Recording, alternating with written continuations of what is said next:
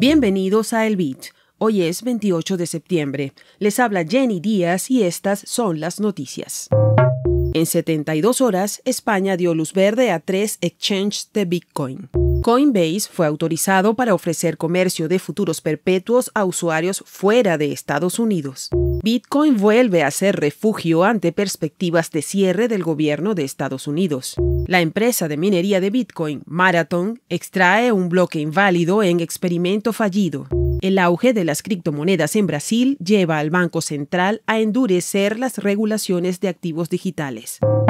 La librería de Satoshi está ofreciendo becas del 100% para el curso Mastering Bitcoin a activistas, defensores de derechos humanos y habitantes de países con regímenes autoritarios o donde Bitcoin esté prohibido.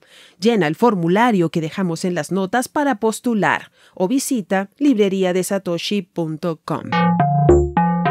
Tres exchanges de Bitcoin recibieron la autorización para operar en España en menos de una semana, signo de que la adopción de criptomonedas está creciendo en ese país.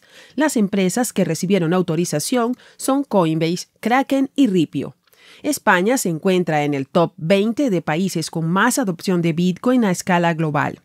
De acuerdo con la información, las empresas de criptomonedas están adaptándose a la regulación europea. El reglamento sobre los mercados de criptoactivos, MICA, entrará en vigor en 2024 y establecerá un marco regulatorio para las criptomonedas en la Unión Europea. En la misma onda de las autorizaciones, Coinbase recibió la aprobación regulatoria de la Autoridad Monetaria de Bermudas para permitir a los clientes minoristas no estadounidenses negociar futuros perpetuos.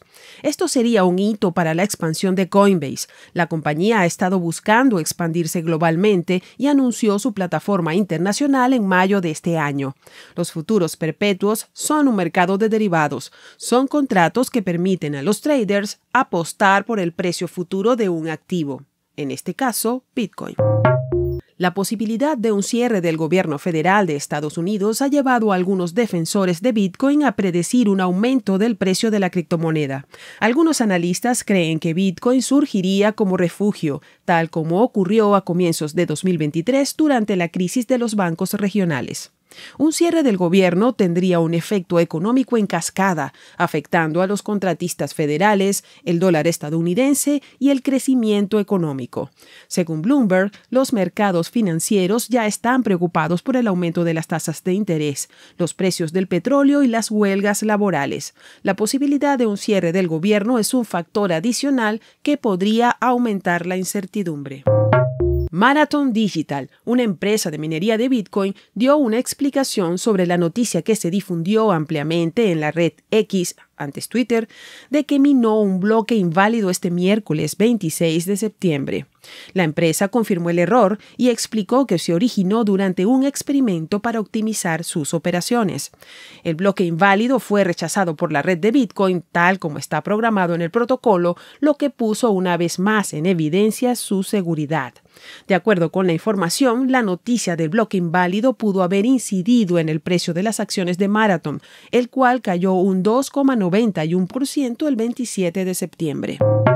El Banco Central de Brasil está endureciendo la regulación de los activos digitales en respuesta al aumento de la adopción en el país.